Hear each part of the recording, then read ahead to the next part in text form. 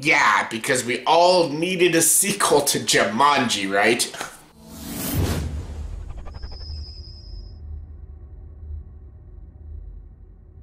Hey everyone, welcome to the review, and here's my review for the movie Jumanji, Welcome to the Jungle. Yes, Jumanji, Welcome to the Jungle. This movie stars Dwayne Johnson, Kevin Hart, Karen Gillan, Jack Black, and Nick Jonas. And this movie is directed by Jake Kasdan, yes, the guy who gave us Bad Teacher and Sex Tape. Nice. Yeah, nice. Um... This movie is a sequel, even though it's not technically a sequel, but it's not a remake or reboot. It's it's it's called a sequel, even though it really doesn't have any tie-ins to the original. But a sequel, and yeah, this is a sequel to Jumanji, the great '90s film with Robin Williams. I love that movie. It's a great movie. Why they made a sequel, I have no goddamn idea why, but this one, it's like a video game. It's about these four high school students, and they're all a bunch of high school kids. They all have different cliques and stuff. You got like the nerdy kid, the popular kid, you know, the smart girl, the popular girl and stuff. And they find this game, and it's called Jumanji. And basically, they get sucked up into the world of the video game of Jumanji. And uh, the four kids become four avatars of their characters they chose in the game. So the main nerdy kid is Dwayne Johnson, a big buff dude. The popular guy is Kevin Hart, a small guy.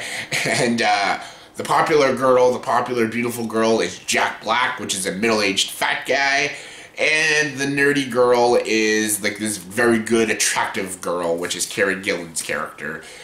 So yeah, basically they all have to work together in this game. They each have like three lives in the video game. They have to survive the jungle of Jumanji and get back and beat the game so they can get back home and stuff. They're, they have help with all these side characters. They have Nick Jonas. They have to fight this mustache twirling villain. Ah. And yeah, that's Jumanji 2, Welcome to the Jungle.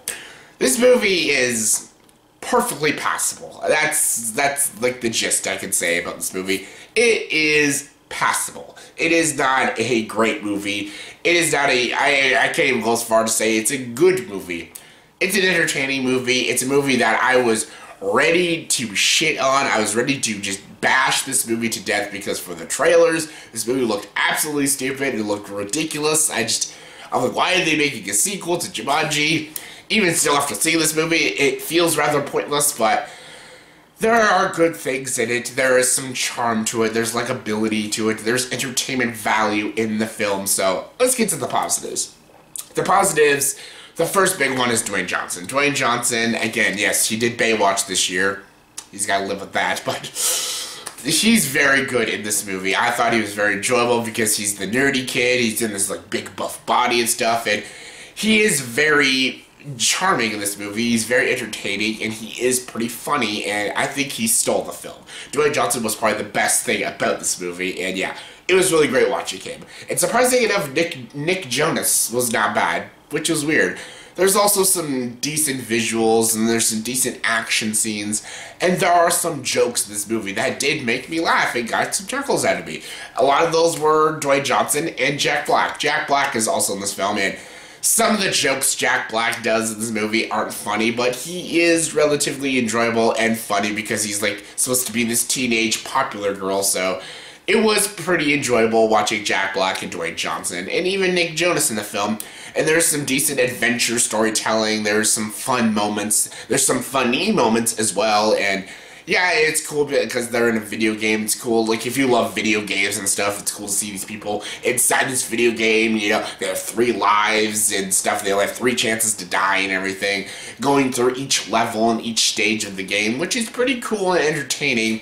The movie could have used the idea bigger and better and stuff and made it more enjoyable, but for what we got, it's perfectly passable my gripes with the film is, well, the other two leads. Like, I didn't like Kevin Hart in this film. Kevin Hart's a hit and miss when, when it comes to Kevin Hart for me. Um, sometimes he's really funny and really enjoyable, sometimes he's not. In this one, it's the typical Kevin Hart shtick. He's not very funny, he's not very enjoyable in this film, and all his jokes completely fell flat. And Karen Gillan was not that great either. She was just this, you know, this nerdy girl, this feminist girl, and this, like, good-looking girl's body and stuff, and she wasn't interesting, she wasn't compelling, she wasn't funny, she wasn't entertaining to watch, so Didn't care for her. There's also a villain in the movie, which is not done really well.